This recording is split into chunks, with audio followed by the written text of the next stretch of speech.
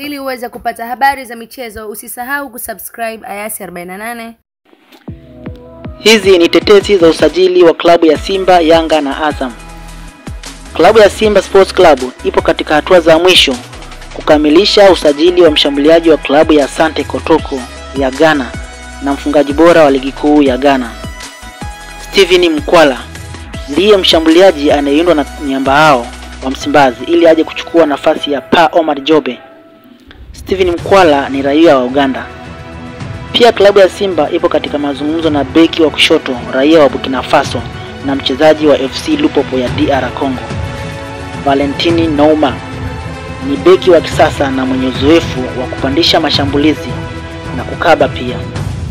Katika habari zingine, uongozi wa klabu ya Yanga upo kwenye mazungumzo na kocha wao wa zamani Edna Lema ili aje kukinua kikosi cha Yanga Princess msimu ujao wa ligi kuu ya wanawake.